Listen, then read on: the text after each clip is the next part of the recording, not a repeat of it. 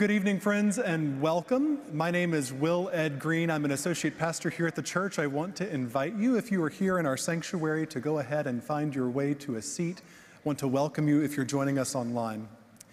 As we recognize Native American Heritage Month in November, I want to begin tonight by recognizing that our gathering takes place on the sacred, traditional, and unceded lands of the Anacostan, Massawamak, Susquehannock, Piscataway, and Pamunkey peoples who were forcibly removed from these lands to allow for English settlement. As occupiers of their territory, we recognize them as the original and perpetual stewards of this land and acknowledge our responsibility for a more honest recounting of our history that is truly anti colonial and anti racist, doing our work so that all people who call this place home can thrive. The William Astor and Vivian T. Kirk Symposium Series was launched in 2019 in honor and memory of Dr. William Astor Kirk and his wife, who together were tireless workers for justice and inclusion, empowering communities through education and advocacy to address systemic inequality and injustice for the sake of building and becoming what Dr. Martin Luther King Jr. called beloved community. This symposium is just one of the ways that we here at Foundry are committed to continuing that work, equipping, educating, and empowering our community and city to address the critical questions that arise at the intersections of faith and public life. I want to offer just a few gathering pieces of information for us. American Sign Language interpretation is available, of course, here in our sanctuary. If you are joining us online tonight, you can go to foundryumc.org forward slash ASL, and you'll find a separate stream there for your use. We will be recording tonight's presentation, so if you are joining us online and want to go back and watch again at any point, or if you have a friend that you wish were here that you'd like to share it with later on, that will be posted on Foundry's Facebook page and YouTube page. We hope that you will share that as a gift and resource for our community. And finally, if you're joining us online via Facebook, there is an option for you a little bit later in tonight's presentation to submit questions that uh, our presenters will be responding to. So we want to encourage you to do that in the comments throughout the lecture by typing the word question with a colon so we know what you're trying to do, and we'll make sure that that gets shared a little bit later. Friends, that's all of the gathering business I have to do, and I want to welcome our senior pastor, the Reverend Ginger Gaines Cirelli, to get us started this evening.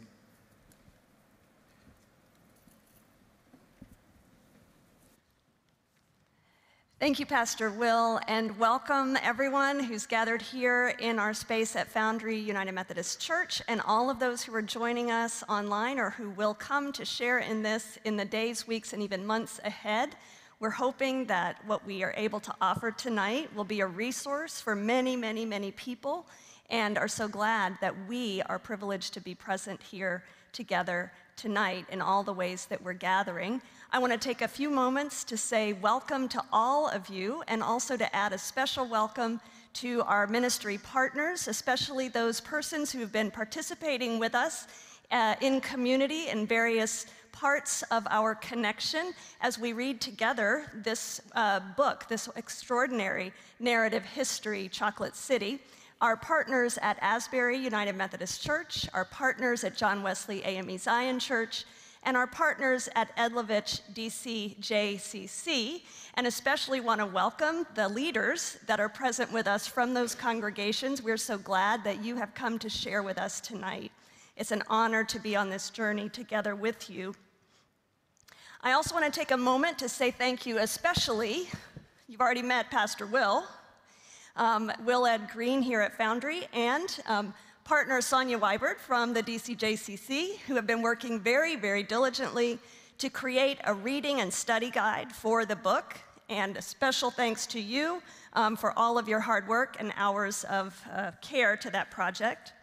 I also want to say thank you to the Foundry Discipleship Ministries team, the Sacred Resistance Ministry team, and the full staff of Foundry Church.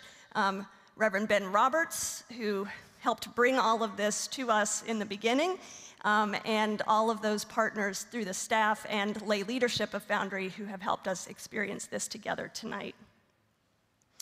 And with that, I'm going to share the last thing that I'll share before introducing our guest speakers. Every time we gather in this space, one of the things that we're proud to offer is a welcome, which also says something about who we believe we are and who we believe our Creator is.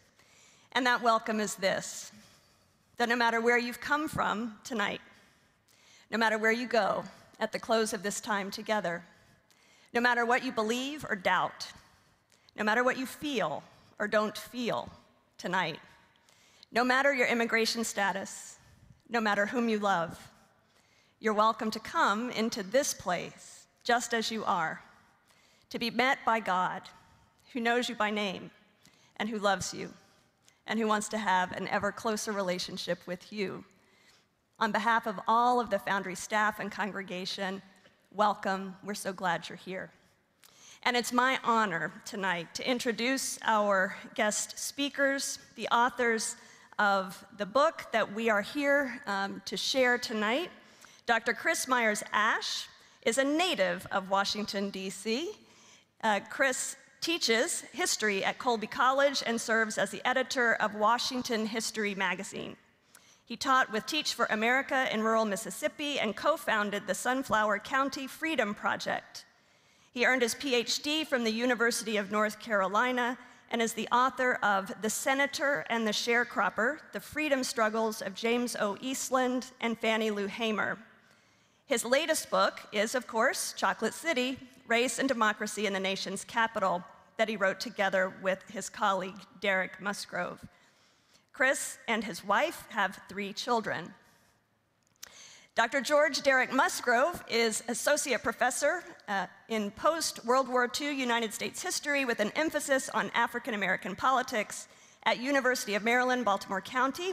He is the author of Rumor, Repression, and Racial Politics How the Harassment of Black Elected Officials Shaped Post Civil Rights America, and co author of the book Chocolate City.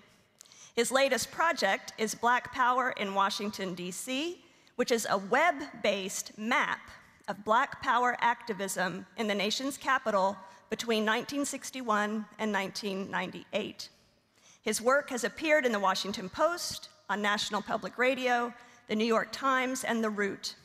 He's currently working on a book project tentatively titled We Must Take to the Streets Again The Black Power Resurgence in Conservative America, 1980 to 97 which explores the burst of black activism that rose in opposition to the urban crisis and the conservative retrenchment. He earned his PhD from New York University and now lives with his wife and two sons right here in Washington, D.C. We have esteemed, esteemed scholars and partners in this work present with us to teach us and guide us. What a privilege it is to welcome both of you into this boundary space. Can we welcome them together?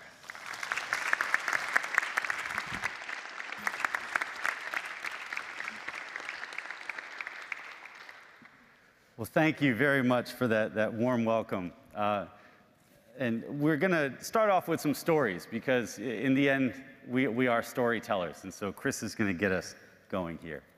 Yes, and we can, we can, we can shed our mask, at least for, for a little bit. Uh, thank you all for welcoming us to this, this beautiful space.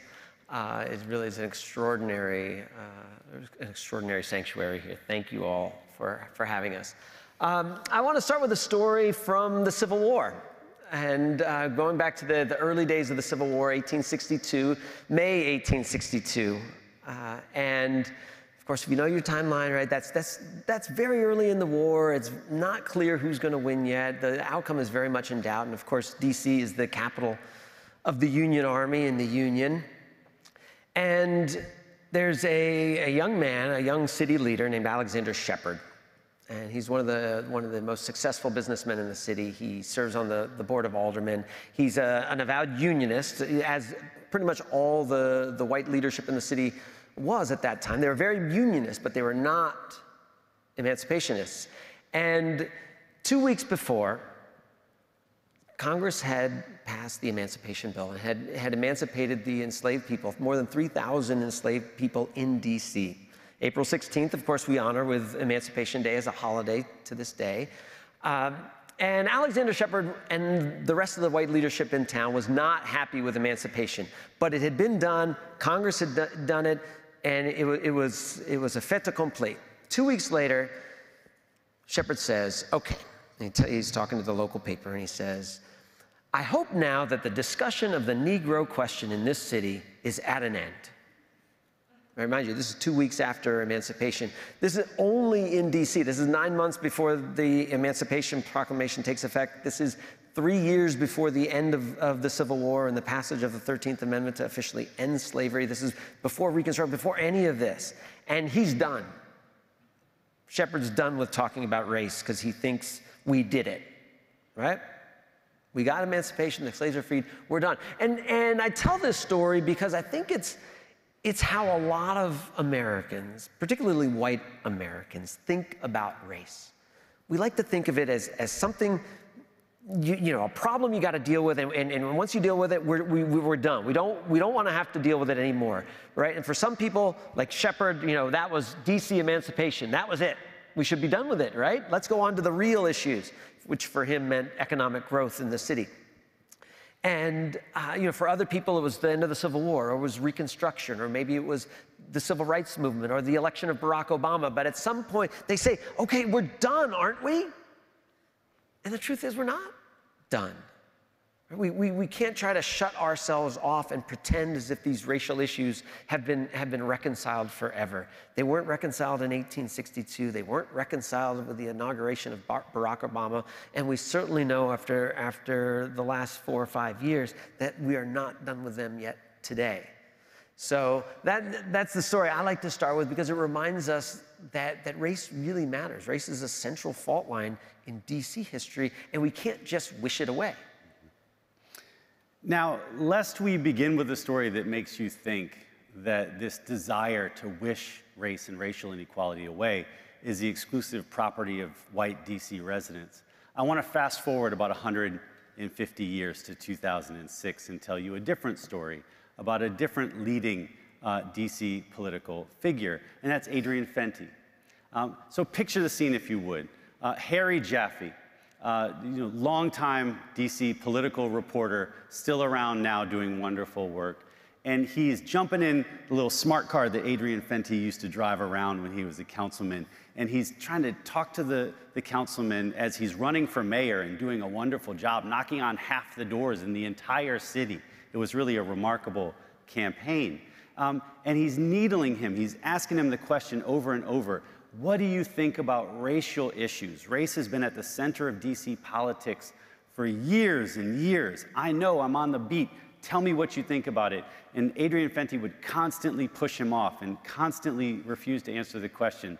And finally, uh, he just got tired of Jaffe asking him so many times. Uh, and he said, Look, I don't think people really want to talk about race in this city. They just want the same services in every neighborhood uh, that they get in the neighborhoods that get the best service. And so if I can make sure that in Ward 8 there's great services just like there are in Ward 3, nobody will want to talk about race. And Harry Jaffe was gobsmacked. He's like, You can't be serious, young man. Uh, this is a city where Marion Barry just got back on the city council. He was your, you know, he was, he was literally your colleague.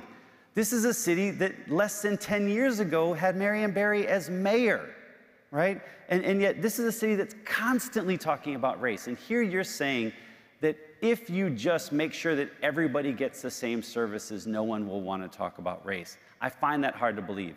And Adrian Fenty stuck to his guns. He kept that message the entire time uh, that, that he ran the campaign, and he won resoundingly. He actually did something that no one had ever done in this city's history before in a citywide office. He won every ward. In fact, he won every precinct. It was a remarkable achievement. Um, but he continued to govern the exact same way he uh, attempted to run his campaign. And so he studiously ignored issues of race. And what a lot of black DC residents came to believe, and here I'm, I'm paraphrasing Lawrence Guyot, the famous civil rights activist who, who relocated to the city and became a, a, a, a local politico and an ANC commissioner. He said, Look, we feel, African Americans feel, uh, like uh, Adrian Fenty treats white DC residents with deference and black DC residents with diffidence. Uh, we absolutely don't believe that he's focused on making sure that we get those equal resources uh, that he keeps talking about. and so going into 2010, even though Adrian Fenty had a several million dollar lead when it came to fundraising over his black opponent, um, 80% of black DC residents voted against him. Black women, it was actually a little higher than that because uh, he had actually snubbed Dorothy Height. You never snub Dorothy Height. Um, and he lost in 2010 uh, to a relatively bland Politico who had been around for a while, Vincent Gray, right? Um, now, we, we, could talk about the, the, the, sort of the illegal activity in that, that election, but nonetheless, nobody knew about that at the time. I mean, he lost because he lost the black vote. Um, and so what we see there is that Adrian Fenty was part of a generation of young uh, black politicos who had sort of labeled themselves post-racial, who had termed themselves new black leadership, and who believed that they could run in a sort of post-racial manner, not focusing on racial issues. And as Chris pointed out, as they tried to walk away from race, as they tried to sort of wish it away, it consumed them. Uh, and it consumed Adrian Fenty's young career. Um, so, and those are the kinds of issues that we talk about in the book Chocolate City. We talk about how, how race has played a, a central animating role throughout uh, DC history. And, and we want to step back a minute and talk a little bit about writing the book and, and why, why we write the book. In fact, as we were talking in the Green, book, Green Room, that was one of the first questions you know, folks asked me, why did, why did you write this book? Um, I know for me, it's a, it's, um, it was a labor of love. I, I grew up in the city. Um, my, my mom lived up in, in Chevy Chase. My brother still lives in the city. It's very much my, my home. I went to Wilson High School. Uh, you know, I hope soon to be renamed Wilson High School and not for August Wilson, please. Uh, it's the worst decision I've ever, I've ever encountered. Uh, uh, but, you know, I went to, I went to Deal Junior High. And in, in a Deal in, when I was in ninth grade, we had to take DC history as a course. I think it's required for seniors now, but at that time it was ninth graders. And uh, on the first day, we were supposed to take a whole semester of DC history, and then the second semester was uh, world history. And I can remember the first day of class, teachers passing out the textbooks, same textbooks they still use today. Uh, and she said, I just want to let you know we're going to go kind of quickly through DC history so we can start world history sooner. We'll be about six weeks on DC history because DC doesn't really have much history so we can get through it pretty quickly. Now, mind you, this is a DC public school teacher telling her DC public school students in, in a DC public school that DC history doesn't really matter.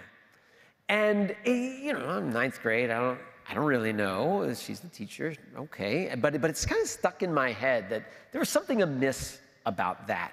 Uh, and I think it speaks to this larger issue that, that we face in DC, which is that DC largely does not get the respect it deserves from the nation that it serves.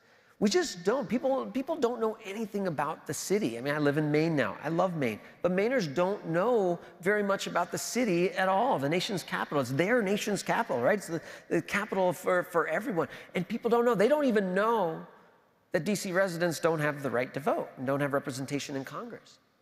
When I tell them this, I promise you, they don't believe me. They're like, no, that can't be true. Like, I promise you it's true. Well, didn't we fight a war about that? Yes, we did. It was a couple hundred years ago, but we did fight a war about that, and it's still a problem. They don't even know, right? They don't know that DC was a slave city, that there were, there were enslaved people by, by the thousands in the nation's capital, slave auctions happening in sight of the, of the capital. They don't know that. DC doesn't get respect. People don't understand the city. And this teacher, didn't have respect for the city. And I kind of filed that away uh, as, I, as I grew up, became a historian, and moved back to DC. Uh, I lived for a time in Mississippi, actually in Marion Barry's hometown of his birthplace, Itta Mississippi. Lived there for a while. Came back to DC, met Derek at UDC. Uh, started teaching the DC history class, and I still remember that because it just irked me so much. And you know, I guess you can see Chocolate City is a, is a very long delayed, you know, 30 years later, a long delayed response to that teacher to say, no, you were, you were wrong. DC does have a history. It's a rich history, it's a varied history, it's a troubling history. But it's an important history, not just for DC residents, but for all the nation, because there are things that we as a nation need to learn that we can learn from the, from the experience of DC. So when I met Chris, I didn't know any of this. I should just point out. You, know, uh, so I'll step back. I love to point out that when we talk about how we came to write this book, you know, Chris has this sort of wonderful revenge narrative, right? It's, it's, sort of, it's sort of cinematic in that way. You know, he's wronged as a child. He goes off into the hills and trains. Then he comes back and defeats the person who, you know, wronged his family. Uh, and my approach to this book and, and to, to, writing this book with Chris is really a, a sort of, a, you know, a comedy. Um, you know, I was, uh, before Chris got to UDC, about a year and a half before he got to UDC, I was teaching African American history in, in, in post World War II US history. And I had set up my classes for one semester and I was ready to do them. And I walk into one of the classrooms and it's only got eight people in it. And I panicked because I knew that we had a policy at UDC that if you had less than 10 people in the class, the class would get canceled. And I thought, oh my God, you know, like this is, this is a problem. Like I'm gonna have to teach another class that I haven't prepared for. So I run out in the hall, try to get people to come in. Nobody will do it. I have to go to my chair and say, look, I've, I, my class under enrolled, you know. So, so she said, fine, it's canceled. And I thought she was going to give me another US history course because that's typically what they do. You have to still teach a full four courses. And so she had to give me a new one. Um, and she said, Well, the only course left is DC history. And I, I, I turned bright red and I could feel my heart sort of beating out of my chest. And I said, I don't know anything about DC history. Um, I had learned a little bit about it in my first book when I had sort of studied Walter Fauntroy and Marion Barry, but that was it. And she said, Well, you better go home and start reading because you're teaching DC history tomorrow. Uh, and I, I, I really couldn't believe this was happening. I actually tried to protest, and, and she's just like, get out of my office. You have to go learn DC history. Um, and so I had a, just a horrible semester, horrible semester. Uh, I was learning DC history literally hours before I was going into the classroom uh, to teach it. And my, my, my, students were a bunch of jokers. There, I remember this one young man named, uh, named Pete, and uh, he, was, uh, he would come in with these conspiracy theories about how, you know, uh, must have been a Satanist because he had sort of created a pentagram out of the roads in, in the map of DC. And of course, that's not true at all. Uh, but I, he would raise this stuff in class, and I would have to go home and check it. And so it was like an added amount of work. Uh, on top of just learning DC history. Uh, it's funny, I, I, just looked online and it turns out that he's now a marijuana farmer. Uh, he, he just had his first crop this year, and so if you've got your card, you know, look him up. Uh, but, but, but, I, but this was like the crazy story that I had coming off of that first semester uh, at, um, at teaching DC history. And then I met Chris a little bit after, and I said, you know, look, man, I got this crazy story, and I ran it down to him, and he didn't laugh at all. And I'm a funny guy, right? I mean, I was really annoyed that he didn't think this was funny at all. And he, you know, we'd sort of end the conversation. He doesn't say much about it. And I, I kind of mumble something about, I really wish there was a great, you know, single volume that I could have used to prepare for class. And, uh, you know, I, I, say, gosh, I wish somebody would write that book. And, and you know, Chris goes, yeah, somebody should write that book. Um, and then that was the end of the conversation. And like a week later, I get this big fat email from him, and it's a book proposal. Um, and it's, it's a survey history of race and democracy in Washington, D.C. And he said, Hey, you want to write this thing together? And I said, Sure. Uh, and so, you know, there it is. That's how we got to do Chocolate City. But I literally stumbled into it, whereas Chris had been stewing on this since he was 14 years old. Um, now, in the time that we have, because we don't have too much this evening, we just want to tell you sort of two additional things. Uh, uh, the, the, the first is sort of how we got the name Chocolate City, because I should just point out um, he sends me the book proposal and, and he says, What do you want to call it? And I say, Chocolate City. And he says, Sounds great. And we move on, right? But we, we want to tell you what that name really means to us and what the argument is implicit in that. Uh, and then we'll Before talk about. Before I do, I, I want to, I want to jump in and, oh, sort of explain. Go ahead. Go ahead. The Chocolate City, you know, for me growing up here in the, in the 80s, like, Chocolate City was just, that was just the nickname of the city. I, I didn't think, you know, it was yeah. much, much of it. But and I remember shortly after this conversation when, when we'd agree, you know, you know Derek's going in, we're going to go all in on this, we're going to write this book. And I was having dinner with my wife's family out in Bethesda. And uh, I was explaining, you know, oh, Chris, what are you working on? I was like, oh, you know, this is going to be great. My friend and I, Derek, we're going to write this book on race in DC. It's going to be called Chocolate City, and we're going to study. And my wife's cousin, woman in her 20s, good, liberal, um, young white woman. You know, her face just got shocked, right? And her mouth came, you know, dropped wide open. She's like, wait, wait, what are you going to call it? I said, we're going to call it Chocolate City. And she's like, but are we even allowed to say that? I was like, what do you mean? Isn't that racist? It's like Chocolate City? Are you kidding? No. And, and, and it had never occurred to me. But it's funny because I've gotten this reaction from, from people over and over, white people, over and over during the course of the, the we had one reviewer who was like, this is going to be a great book, but you got to change the name because that's racist. Uh, they won't, I, I'm teaching a course on race and democracy in DC at Colby. They won't let me call it Chocolate City because they're worried it's going to be called, it's going to be thought of as racist, right? Because it, it says a lot about the fact that something that's, that's associated with blackness is somehow considered a negative.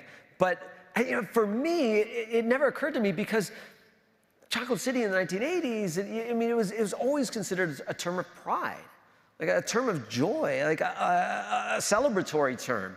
It, uh, I never interpreted it as threatening or, or somehow subversive or negative in any way. And so it hadn't occurred to me. But for many white people, they get very nervous when you start talking about blackness. They get very nervous when you start talking about race. We see this in the school board debates, you know, about, about race in the, in the public schools, right? They just, it's divisive, right? It, it's controversial. Just don't bring it up, right? It's Alexander Shepard Oliver. It's like, we're, we're done with that. We elected Barack Obama twice, right? Can't we stop? And, and it's like, no, no. And, and Chocolate City is just such a great way to capture uh, the, the spirit of, of this city. And Derek will explain why. Yeah. So, so you know, I had, I had heard about Chocolate City the same way Chris had. You know, he grew up in Chocolate City. He, he had heard people around him calling the city Chocolate City. He called it Chocolate City. And when I started coming to the city, I'm originally from, from Baltimore in the 1990s, people were still calling it such. And so uh, I just jumped in on that. But more importantly, my father was a big fan of the best funk band in the history of mankind, which of course was Parliament Funkadelic. Uh, and so if you're a P-Funk fan, you know that in 1975 they put out an album called Chocolate City. And it was quite literally a love letter to Washington, D.C. It was actually a song. Its title track was about Washington, D.C. Now, P Funk, like any great musician, did not come up with the name. They had actually heard it on the streets of Washington, D.C. Um, so, roughly in about the mid 1960s, residents of D.C. began calling the city Chocolate City. Uh, local DJs on a lot of the, the local black uh, radio stations began hearing that. They started calling the city Chocolate City. And very quickly, by the, by the late 1960s, early 1970s, it kind of emerges as the city's nickname, right? Uh, widely understood as such. Um, now, that nickname, as far as most of the folks who were using it were concerned, as far as P Funk was concerned, and as far as the folks that were talking to Chris uh, and Chris himself were concerned, meant really three things, right? The first was that DC was the first major American city to have a black majority.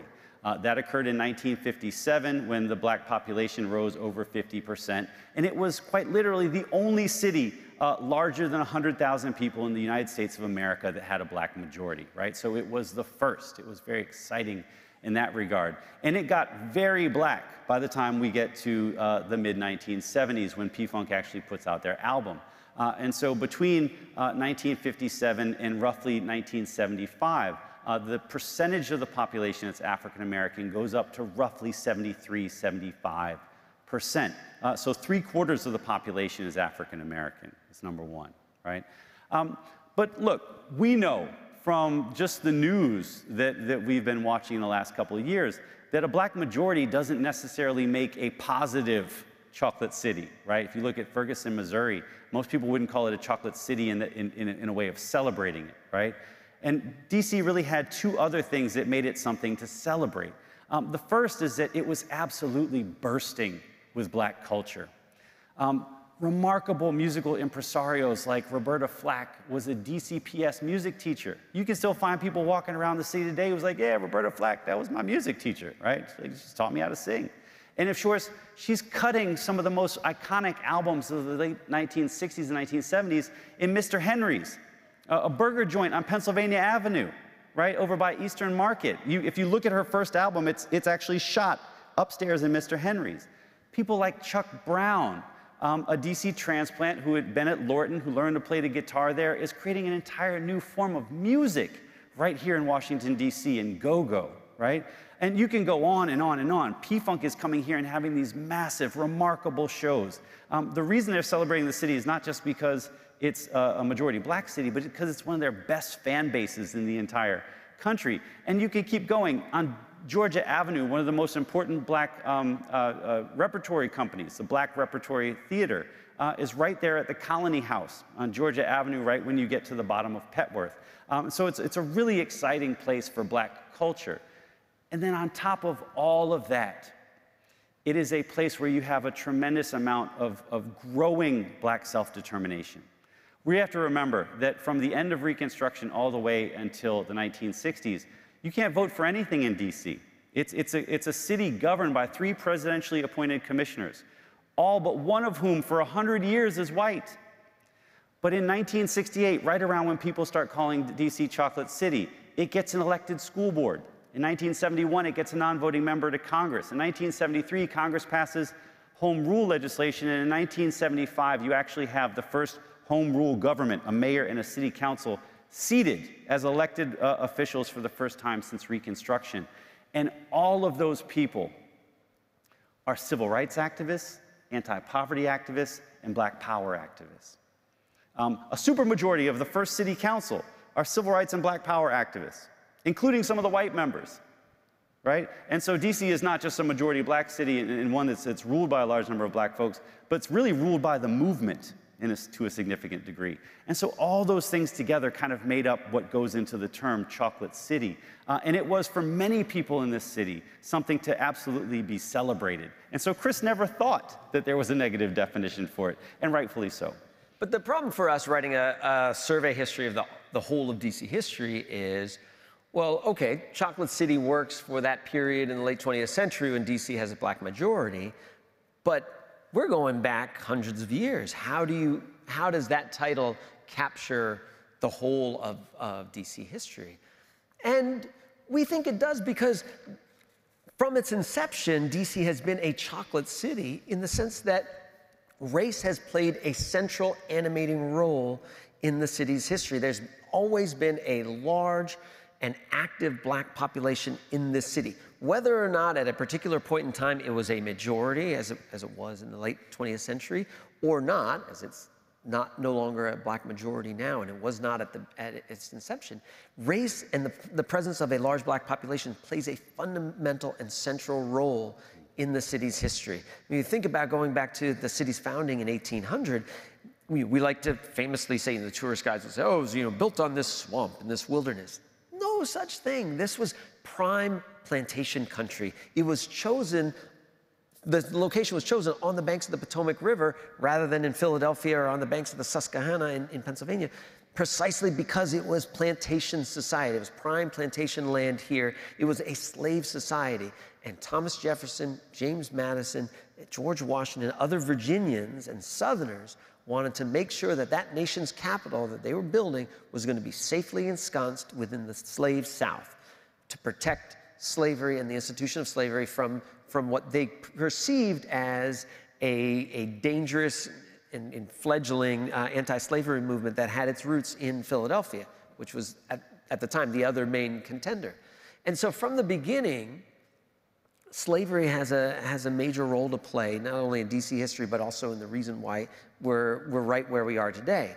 And from the beginning, DC, even though it is a slave city, DC is, is somewhat of a beacon of, of hope for black freedom.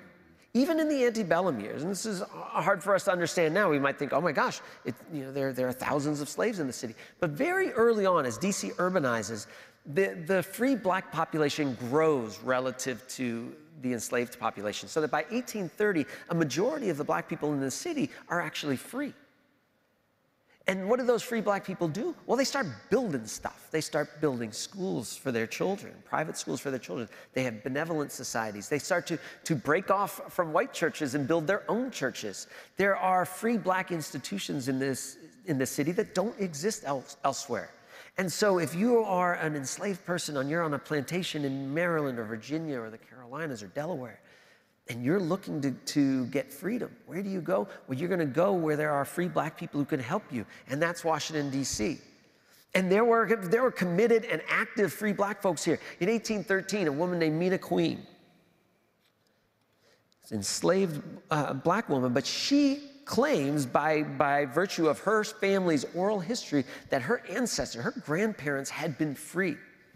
And therefore, she had been illegally re enslaved. And she takes her case all the way up to the US Supreme Court in 1813. She loses, but there's a remarkable dissent in that, in that case.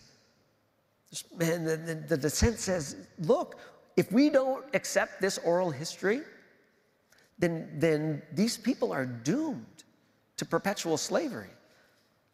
But Mima Queen loses, but people keep fighting. And just less than 10 years later, a man named William Costin, who is related by blood to Martha Washington, he fights back against the new black code in the city. The, the, the, city is trying to crack down because they're worried as the free black population grows, they're worried that more and more black people are going to want to move to the city and that the, the black population is going to grow and, and, and get, in their minds, out of control.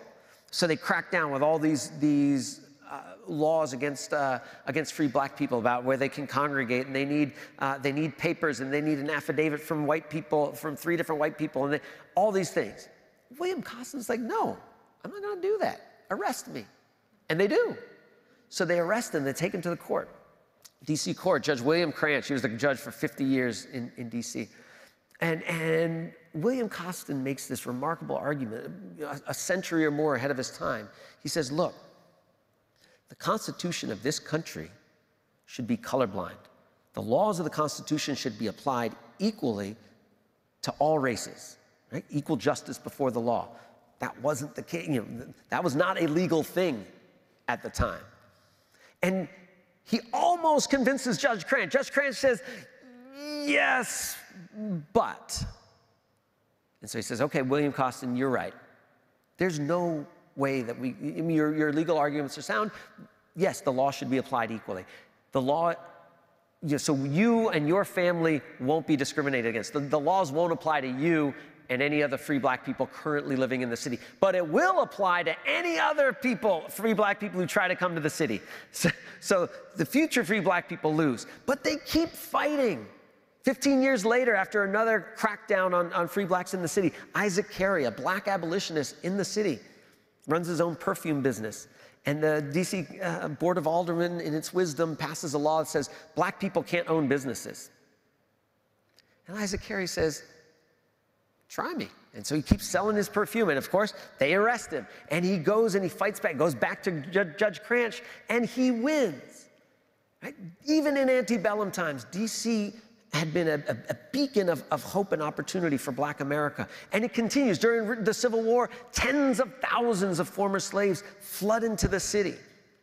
The black population skyrockets so that after, after the Civil War, during Reconstruction, DC is on the vanguard. DC is, is on the vanguard of racial change in the country. Black men in DC are the first black men to vote. They, they start voting and running for office and winning. By 1869, you have a racially integrated city council with black members from every ward in the city. They passed the most racially progressive laws in the country. Basically, the 1964 Civil Rights Act that we all know and love, DC Council passed that in 1869, 1870. DC was on the, on the front lines of racial change. By the, by the end of the 1800s, by the turn of the 20th century, DC has the largest, most educated, most prosperous black community in the country. This is all happening long before it becomes a black majority. So we argue that DC has been a chocolate city from its inception. And I'm a little worried that we're, we're getting too far along in time. And so I'm, I'm going to, we're going to wrap it up and so we can get questions from all of you because I'm sure you, you all have them. Um, and so we'll just tell you what we want to, what we want folks to take away from the book. And you know, Chris usually rails on here and says, "Well, I want you to read the book and find what you'd, what you'd prefer to take away from it. But we nonetheless have three guideposts uh, for what you should take away from the book.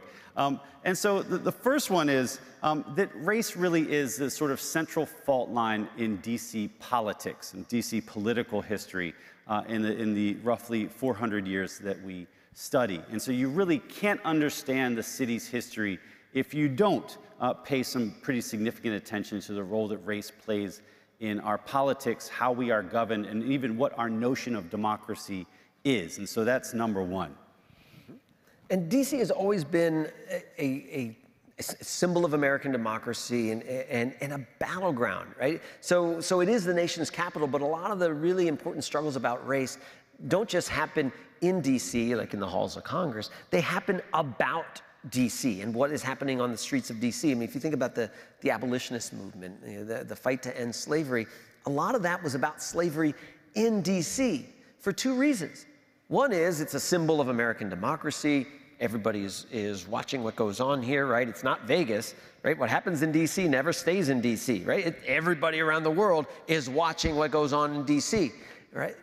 And so they, it's, it's, symbolic. So abolitionists from the beginning said we have to end slavery in DC because, because it's, a, it's a stain on our nation. And we, you know, symbolically, it's important for the, for the capital of a free nation to, to be a free city. But they also targeted DC, slavery in DC, because of strategy. Congress, then as now, has the ultimate authority over DC. If Congress, in its wisdom, wanted to end slavery, slavery in DC, it could do so right away without having to go through the state government of Mississippi, no arguing about states' rights or any of that business. It could end slavery immediately. And so both abolitionists and pro slavery advocates both saw DC as kind of the, the, the key. William Lloyd Garrison, the famous white abolitionist, said DC is the first citadel to be carried in our fight to end slavery. John C. Calhoun, famous pro slavery senator from South Carolina, said, This is our Thermopylae. If we lose DC, we lose it all. And so DC has been a battleground, whether it's slavery or the fight over school integration of, uh, or different fights that happen, uh, racial fights that happen, often happen about DC. And, and, DC also plays two other really important roles in, in uh, US democracy writ large, right? Uh, the first is it's a stage for, for US democracy. It's, it's a place where uh, the, the, the, the um, temples of American democracy are actually situated. It's the place where the presidential inauguration occurs. It's the place where Congress meets. Uh, and so the, the actual pageantry of, of our democracy takes place in this city. It's, it's where it happens. Uh, but the other, uh, sort of piggybacking on what Chris says, uh, is that it's also a laboratory. And so just like people are battling over which way DC should go, members of Congress, because of that power that they have uh, in the Constitution of exclusive legislation over the city, are also just trying stuff out in DC that they may want to try elsewhere. Uh, and so sometimes that, that redounds to the citizens of DC uh, in a good way, like with DC emancipation, which happens a couple of months before the Emancipation Proclamation. Um, sometimes uh, it, it, doesn't. Uh, and so, for instance, uh, members of Congress, uh, you know, looked at DC's needle exchange program in the mid 1990s and said, you know, that violates my religious principles. I'd prefer that that not happen. Uh, so they, they cut off the DC's needle exchange program. And within a couple years, we became, uh, we had the highest per capita AIDS rate in the United States of America. Uh, and then, of course, Congress stretches back and, and, says, okay, you guys can spend your own money on needle exchange. Um, that was just 15, 16 years ago, if some of you may remember. Um, and so, so DC ends up being the stage, this battleground in this laboratory. Now, I'll stop with this because I know that we are over, uh, and, and, pardon me, uh, Pastor, Pastor Will, um, is that you know, one of the things that we really hope that you take away from this book, and because there, there is a lot of, of uh, there, there are a lot of very ugly stories in this book. There's, there's a great deal of injustice that we cover in this book. But what we also wrote about in this book, and what we want to just highlight for you as we close out this evening, uh, is that there are tremendous stories of people fighting on the streets of this very city, right outside those doors, right down the street, right up the street, fighting to breathe life into American democracy, to actually make it real for everyone in this country. And in some cases, even winning. Uh, and so we hope that as you read this story, you'll not only sort of see, see a warning about what we've been and what was bad about this country, but you'll also see a blueprint for what we can be uh, and what we can make of this country. Uh, and so we hope you enjoy reading it, and we hope you take those lessons and go out there uh, and change this country for the better. Thank you.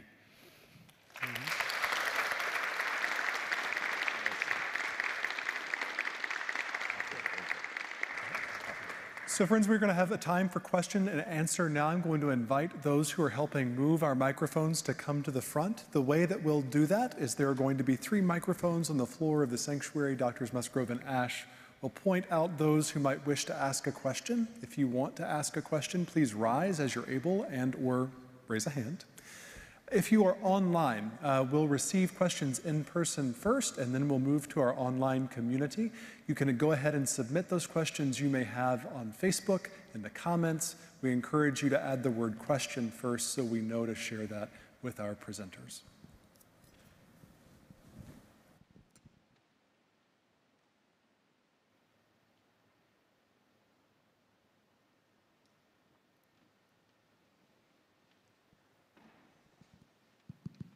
Hello.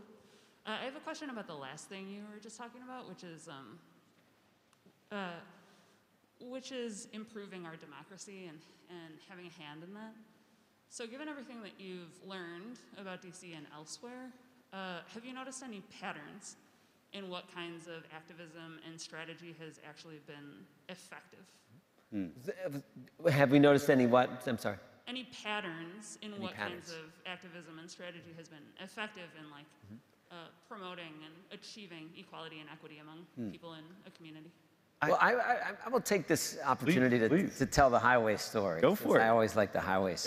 so, one of my favorite topics in the book is the highways. I know it doesn't sound like the sexiest topic in the world, um, but the highways are, are a really interesting case study in precisely that. What, you know, what, what has been effective? And so I think about, you know, I, I used to, I went to college down south, and when my friends and I would be driving home, uh, you know, you come up from the south on Highway 395 and you're flying, you know, you're going 70 miles an hour and you, and you fly through downtown, you go right up under the Capitol where everybody got stuck during the Obama uh, inauguration. You come up, and what happens when you get to New York Avenue? You stop. There's a stoplight. And I remember when I was a college kid, I'd be like, what? Who did this? Like, who in their right mind would stop a highway, right? I, I'm trying to get home. I'm trying to zoom through the city, and they've got stop sign. Then after that, it's like stop light, stop light. You know, and you're, you're, you're in the city then at that point. And I come to find out who actually did it. And it goes back to the, the 1950s. You got to remember something about highways in the 1950s. Highways were progress embodied. Like in the 1950s, policymakers, urban planners, the press, everybody loved highways. And, and highways were going to be the way that DC was going to be revitalized. People talked about blight, um, you know, urban blight in the post-World War II era, and like, oh, what are we going to do to, to revitalize our cities? And the answer was, we're going to build these highways. And city, city planners had these great plans for DC, right? And we know, we know one of them, our, our dear Beltway around the, the outside of the city that we all know and love. That was part of the larger plan, but that was just the beginning. There was going to be what they called an inner loop Beltway along F Street, a nice 10 lane loop along, uh, along F Street. And then there were going to be these 10 lane highways to connect what they called the inner loop with the Beltway, and then the outer loop was going to go even further out. But these huge highways were going to, were going to crisscross our city, 10 lanes. And this was inevitable. It was, it was going to happen. All, the money had been appropriated by Congress because Congress loves to dish out. In those days, we called it pork, right? All their constituents would, would get these contracts and stuff. The developers loved it because they were the ones that got the contracts, right? The unions loved it because their members got, got jobs. Uh, the press loved it because they had something to write about, and this was progress, and this was all exciting. It was a done deal. So the plans get out. This is early 1964. They land on the lap of this guy named Sammy Abbott. Sammy is a little old white guy, bald, glasses. Gotta love a guy like that. Uh, I do. So Sammy Abbott looks at this plan. His wife points out, "He's like, look at the what, the, what was then called the North Central Highway. He, it's going to go right through our neighborhood. They lived in Takoma Park, Maryland, right across the DC line. And there was indeed the North Central Freeway was going to go right through Brookland, you know, all the way up through Takoma Park, Silver Spring, all up to connect with the, the Beltway. And, and he, Sammy Abbott's like, no, we got to stop this. Now, mind you, Sammy Abbott, he's like a freelance artist. He doesn't have any money. He built his own house with his father-in-law. I mean, he's, he's a great guy, but he has no power at all. Uh, he doesn't know buddy, anybody in Congress. The money's already been appropriated. There's nothing he can do. So he starts knocking on the doors of his neighbors and he says, Look, have you seen these maps? Our neighborhood is about to get bulldozed. And they're like, Oh my gosh, this is terrible. You know, what are we going to do about it? He's like, Join me. And so they, they create something called the Emergency Committee on the Transportation Crisis, ECTC. This was long before we came up with cute acronyms for everything, right? ECTC. It turns out to be the one of the most effective social organization, protest organizations in, in the city's history. Because what he does, he doesn't just stop in his own neighborhood. He keeps following that map all the way down into DC and he gets into, into Brookland and these other neighborhoods. And, and who opens the door? Black people open the door. A lot of times, low income black people open the door. And he tells them the same thing. He says, Look, your neighborhood's going to get bulldozed. You got to join together across racial lines. And he knocks on the door of this young man named Reginald Booker. He's in his mid 20s.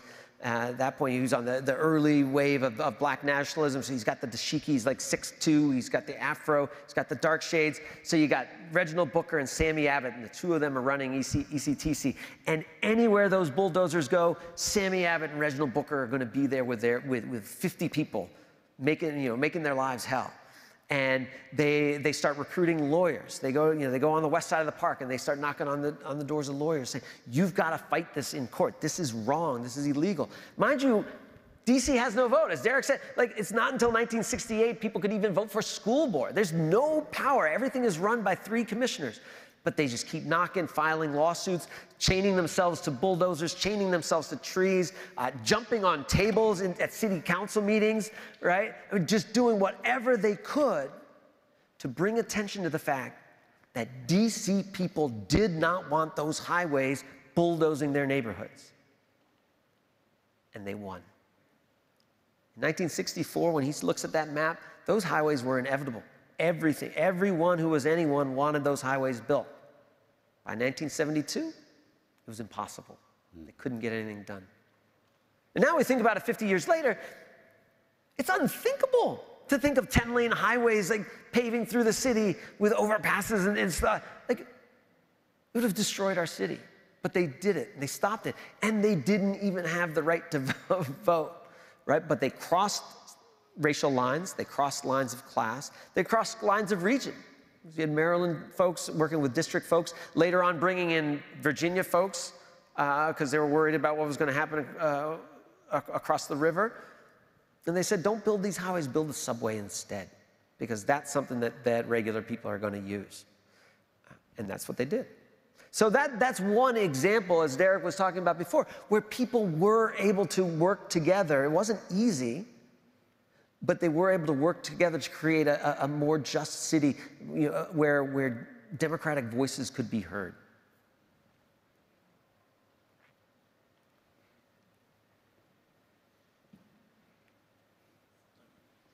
Thank you. Uh, the Sidwell Friends up off of Wisconsin Avenue, I understand that was a plantation do we know who owned that plantation? Mm-hmm. And the Hearst School behind it is where the slaves lived. Mm-hmm. Have you heard that story? I have not. No. And, but but it, it's not surprising because, again, D.C. was plantation country particularly, I mean, all around. I mean, the, the, rolling hills, I mean, you had tobacco fields, you had cornfields. They were worked by enslaved people. And Georgetown is a tobacco warehousing port. That's why, how it's founded. Alexandria is a tobacco warehousing port. That's how it's founded. So the earliest settlements in the, in the area, the, their purpose was simply to gather in crops from the surrounding plantations. Um, you know, up where I live in Shepherd Park, there's the old, the old Blair House, right? Uh, and so there, there's plantations dotted all over uh, parts of the district. Uh, the easiest way to find out, because uh, we have not heard that story, is that the, the, the MLK uh, library has its Washingtoniana room and it's got these wonderful maps of the city. Uh, and you can go back pretty far to find out who owned what land and, and, and did what on it. Uh, but I'm sorry, we don't know. One more thing. I live in Glover Park. It's right next to Georgetown. Mm-hmm. And Volta Recreation Center, right across the street, there's a little alley, little mm-hmm. alleyway, and they got these little small houses there. Um, I'm told that a lot of the slaves lived in that alley. Mm-hmm. It's not an alleyway now, but those houses are so small. Oh, the, you know, the alley communities are really one of, a, one of the remarkable features of, of early DC. I mean, really, they, they last up until the, the mid 20th century, late 20th century, because the way L'Enfant had planned the cities, these grand avenues and streets laid out in this grid, they were huge blocks. And so what they would do, developers quickly realized is like, look, we can build houses on the front that, that front the street and then we can build these alleys that go behind the houses and have whole communities. There'll be entire communities of people living back there cheek by jowl, often without running water, you know, in very unsanitary conditions. And sometimes there were alleys within alleys. So you might live on an alley that didn't even have a direct outlet to the street. So you had to go around to just to get out to the main road. And people living on the main road wouldn't know anything about these, these whole communities, you know, dozens and dozens of, of families living back there. They become, particularly after the Civil War, they become uh, haven for, for incoming migrants from, from southern plantations. And so by the turn of the century, they're, they're largely black, very poor areas, but they also form these really resilient communities. Um, there's a wonderful book by James Borchert called Alley Life in Washington, where he, where he writes about the, the, the strength of these communities. Because if you think about it, it's kind of like a modern cul-de-sac, right? So, so even when cars start to, to come in, and, and late 19th century, early 20th century streets were crowded and dirty and smelly and awful. But back in these alleys, it was like a cul-de-sac, right? Kids could play out in the yards, everybody's sitting out on the stoop, everybody knows everybody else. Uh, and so they did form these kind of neighborhood bonds. Uh, so it was a remarkable feature of, of DC, DC life as DC it, it grows, and eh, you know, especially towards the late 20th century, many of those get turned into garages or condos, you know, and they're you know they're and, they're gussied up. And that's actually one of the the more um, deceptive things about the alley houses that still exist. And so you can find some right off of U Street and Shaw, near like the corner of U and 9th. You can of course find a ton in Georgetown. Many people think they're they're old uh, stables or, or, or uh, but what's happened is that they were working class housing built for poor and working class people that have since been fixed up. Uh, and so Georgetown's alley houses really got fixed up to a significant degree starting in the 1930s as Georgetown began to gentrify. Uh, and artists would go get those, those small houses and turn them into studios. Uh, and you know, like the, the artist set that would kind of hang out around uh, Eleanor Roosevelt would, would, hang, would, would live in a lot of those houses. And so what we're seeing now are sort of the remnants of uh, a solid 70 years of, of, gentrification and kind of living in these places like apartments and condos and studios.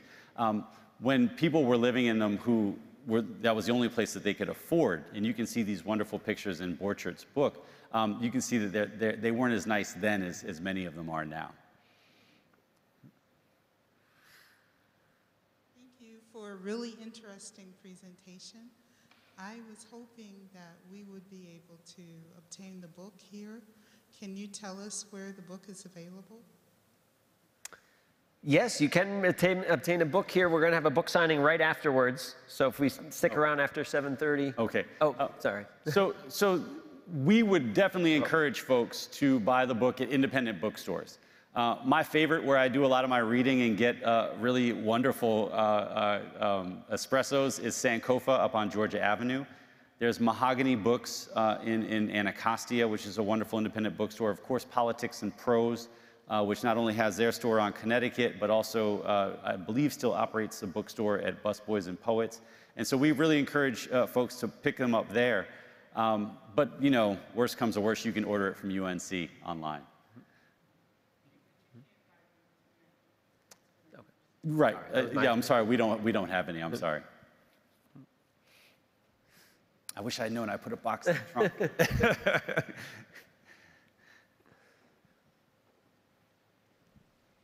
Thank you. Understanding the racial politics, should we have expected Trump to follow Barack Obama and as we watched mm. his administration uh, and, and the changing political mix in the Senate and Congress. Was that predictable? Was it preventable? Uh, I, I, you know, certainly could be preventable. I'll, I'll, let you go. I've got, I've got some thoughts on this. so uh, you can make a good case, I think, for, for students of African American history. It's a wonderful question. That, um, you know, and, and, Martin Luther King says it wonderfully in his last book, Where Do We Go From Here? Chaos or Community. He says, you know, look, uh, uh, uh sort of uh, moments of progress in the black freedom struggle, are, struggle are, are typically followed by moments of backlash. Uh, and he actually wrote that book in 1967, which was dead in the middle of, the, of the, the, white backlash. I mean, Nina Simone wrote a great song about it that year, right? Uh, the Backlash Blues.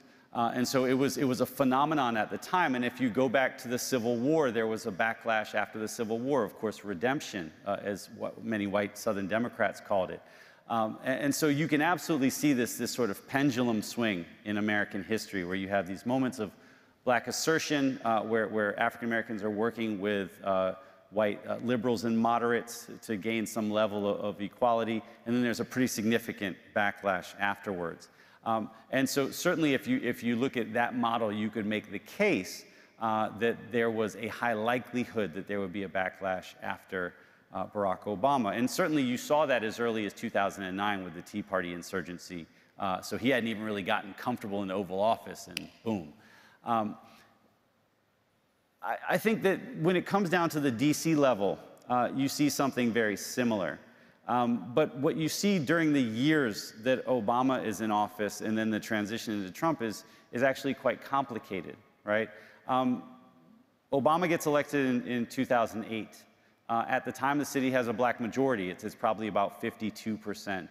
Um, when we started writing the book in, in 2011, that was literally the year that it was announced that the census numbers had come out and black, the, the DC had uh, dipped below a black majority for the first time since 1957.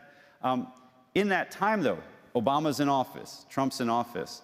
What you see is sort of a hyper gentrification in the city, where the black population is now down to roughly 41% in the last census that came out this year. Um, and so that pattern was kind of bipartisan one, uh, where the city was getting richer and whiter and, and primarily poor African Americans uh, were being pushed across the line into Prince George's County. Uh, something, by the way, that Prince George's County leadership has been complaining about since the 80s, right? Um, and so, so, you know, you see this, this sort of, this pattern of a pendulum on the national level, but on the local level, you also see something far more complicated, right? And, and that is that there's the, the rise of a sort of pro-business coalition in, in City Hall that wanted to make sure that, that well-to-do people were moving back to the city and didn't make a lot of provision for poor people to stay in the city. And as a result, uh, money just pushed poor people out of the city. African Americans are disproportionately poor in this city, and so when you push poor people out, you're essentially pushing black people out. And, so during that time, when we went from Obama to Trump, you had the black population decline by 10 percentage points. Just, just to, to add to that, you know, I think, and I see this with many of my students, people in American students, particularly white Americans, but I think American students have this idea of, of linear history. You know, that, that, that history moves in a straight line. Like, oh, it was bad then, but it's better now, right? We, you know, things were so bad then, but look how much better they are now. And like, there's, there's this smooth line of progress, right? The arc of the moral universe is long and it bends towards justice, right? You know, this, oh, yes, it, it's, we're always moving in the right direction. But that's not how it works, right? In African American history, the history of race in this country teaches us that right? For every step forward. I mean, Reconstruction was a remarkable time in this city and throughout the South. You had, you had two black men elected to the U.S. Senate from Mississippi. Right? You, you, you, had a majority of the South Carolina legislature was African American. You, you had the most progressive racial legislation passed by the D.C. Board of Aldermen. This was remarkable. And then you look 10 years later and all that's stripped away. Mm. We have lynching spreading across the South, disenfranchisement, constitutions, Reconstruction constitutions being thrown out and rewritten to, to disfranchise black Americans. So things do regress, right? And there are backlashes. And so we constantly have to be aware of that and work to prevent it, to organize, and not become complacent and think, oh, we did this. Mm. It's 2016. That can't possibly happen. Oh, yes, it can. And it will again if we, if we don't organize and, and work consistently towards a, a more just and democratic city and country. Hmm.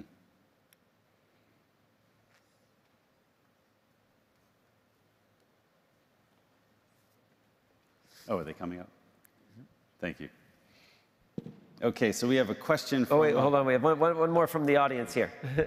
So where are we in this, where are we, are we in the scheme of things? Are we in a backlash? Are we in something that is, uh, a lot of people considered a catastrophe in Virginia, but people will come around and rally and keep reforms going forward and make sure that the anti-voting measures that are 400 bills, wherever, won't pass? Where are we in that? Goodness, I, I wish I knew. Right. We're historians. We look, you know, we look at the past. You know, you can't, can't prophesize about the, the, We- the yeah, we, we always try to dodge that one. I mean, I would say, of course, especially in this time, you know, we, we, we get hyper focused on, on the issue of the day, whether it's the election in Virginia or, or whatever, you know, and, and try to read the tea leaves and figure out what's going on. You know, I think it's important to step back and look at the, the, the broader movement. And, you know, I think about what, um, what Stacey Abrams, for example, uh, did in Georgia, has done in Georgia, right? You know, she is playing the long game. And I think that that's what advocates for social justice need to play the long game, not get too fixated on a particular candidate or a particular campaign or a particular loss, but to, to really focus on, on, on building up uh, you know, new generations of voters, educate people about the process, get people involved. You might lose some here or there, but, but keep building that, that base and keep working that, that base and not giving up because uh, you know, if you look back to when, you know, she, she lost the governor's race and, and that might have been it. She could have just thrown in the towel and been like, oh, you know, this is, this is hopeless. But no, she, she, she saw that as just one more step on the road. And we saw the fruits of that in, in 2020 and perhaps even more so going, going forward. And so I would say, you know, don't let particular defeats drain, you know, drain the movement of hope because you, you need to keep building that pace, base. And, and I'll just I'll add one other point and bring it back to the DC story because I, I think that um, this is this has given me a little hope uh, uh, in the last four years. So when we wrote Chocolate City, you know, we sort of looked at the history of the struggle for statehood, and and you know, I sent Chris my my, my section on on uh, the chapter I was writing with, with, that covered the statehood struggle from the uh, 1980s. And he says, Oh, wow, man, this is about 20 pages too long. How about you cut it out and actually just write a standalone article on statehood? And, and I ended up, And I ended up doing that. And Chris- Chris was the editor of Washington History at the time, and he edited it wonderfully. Um, but what we, what we really came to was that statehood was in 1987 when Walter Fauntroy tried to get a vote out in, in, in the House, and then in 1993 when they actually did get a vote in the House and lost terribly. It was kind of a hopeless cause. And oddly enough, when we published the book, we still felt that that was the case. And so that was, you know, 2017. And then things changed really dramatically. Um, some of the very things that we lament today, uh, the rise of Donald Trump, um, you know, the, um, uh, you know, the Tea Party insurgency that sort of petered out and morphed into Trumpism, um, pushed large numbers of Democrats to believe that um, the Senate was really kind of stacked against them. Because if you look at the, the number of really large states, California, Texas, Florida, New York, they're basically balanced Democrat Republican, right? Like you count the number of senators for the top five, top six, it's roughly even. And then you look at the bottom five states in population Wisconsin, um, uh, I'm sorry, Wyoming, I said Wisconsin, Wyoming, um, uh, New Hampshire, um, Alaska, right? And these are states that have somewhere between, you know, 500,000 and a million residents. And so DC technically is right in the middle of those numbers, right? And the vast majority of the senators from those states are Republican, right? And so what you have in the Senate is, is an imbalance, right? If you look at the, the, the number of Senate votes nationwide, it's basically even Democrat and Republican. It's even balanced a little bit towards the Democrats. But if you look at the number of senators, it's balanced quite significantly towards the Republicans, right? I mean, the last election just was almost a fluke of major turnout in Georgia because of that remarkable work that Stacey uh, Abrams had done. Um, and so, what a lot of Democrats said well, was we need another small state, right? So, we're going to back DC statehood. And oh, by the way, it's also just, right? And so, th- there's, there's a way in which, you know, the, these, th- this backlash has actually worked in the city's favor. You know, people who said, well, we don't want another small state. You know, we think that California senators should have all the power that they need because we're, we're the biggest. And, um, you know, back in the 90s, they were, they were loath to vote for statehood. But this time around, the California senators are on board. Why? Because they need us, another Democratic state, to actually gain a, a, majority in the Senate that's commensurate with the, the, basic voting population nationwide, right? And so there's, there's a way in which, you know, you can talk about this sort of national story where you have, you know, uh, uh, things looking pretty bleak. Um, but there's also the other side of it, which is that, you know, there's a large number of people who have swung to DC's side because of this backlash politics out there. Uh, and the hope is that we will find a way to um, very intelligently sort of use that to pursue our own ends. One thing that we have never lacked in this city is really sharp political strategists, Walter Fauntroy, uh, Eleanor Holmes Norton, Marion Barry, right, who Carol Schwartz famously said was a better politician high than most of his colleagues were perfectly sober, right? And you know, and she ran against him, right? Uh, but, but, you know, you look at these people that we've been blessed with as political leaders in the city, and you have to say, like, they have really been able to figure out how to make sure that our interests align with, with sort of a national set of interests so that even though we don't have much power, we can nonetheless get the things we need. And I think that what we really need to double down on uh, right now and in the years ahead are, are making sure that we're carrying that tradition and finding a way to convince Democrats the country over, and maybe even a few Republicans, um, that not only is DC statehood just, but it would actually uh, remedy a crisis of legitimacy that we have in the US Senate today, where the number, the number of senators simply don't correspond to the way people are voting out there in the country. Uh, we have um, two um, questions from uh, the audience. So we'll start with the first one from Jefferson Beaker. Jefferson, thank you for sending along. And it says, I've been fascinated by the beginning of the book in your writing about the Native American populations. Uh, can you speak about that and how their original presence would later shade what the city became? Um, yes, absolutely, Jefferson. Um, so th there's no question that the, Native American settlement of the entire Chesapeake region uh, influenced uh, the uh, European uh, and African settlement of, of, the, of the region. Um, whether it was the fact that the first uh, European settlement in Maryland was St. Mary's City, which was an abandoned Native American village uh, that local uh, uh Native American chief actually encouraged uh, the, the um, um, uh, colonists to, to settle. Um, or in this area, you had a situation where um, the, the, the um, Captain John Smith came up here from the Jamestown settlement. Um, and he had really received a, a very hostile uh, reception all up and down the Potomac because the vast majority of Native American uh, tribes or nations that were settled along the, the lower Potomac were uh, aligned with um, uh, uh, Native Americans to the south, the Powhatan Confederacy. And the Powhatan Confederacy had already, by the time that Captain John Smith came up the Potomac uh, in 1608, had already kind of tangled with John Smith and were not that keen to him at that moment, right? He and Powhatan had already butted heads. Um, and so they were very hostile to John Smith. He, he, he, writes in his diary, like every time we passed a village, they screamed at us, they threw stuff at us, they shot a couple arrows just to make us a little uncomfortable. Uh, and then we got to Nacotchtank, right? Uh, which of course was here, right over at Joint Base, where Joint Base Anacostia Bolling is today. He's like, and they treated us great. They were really nice.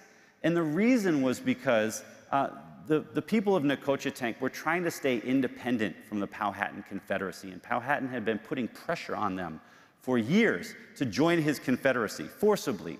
Uh, and so they saw the English as kind of a counterweight to Powhatan. So they said, well, Powhatan doesn't like him, well, we like him.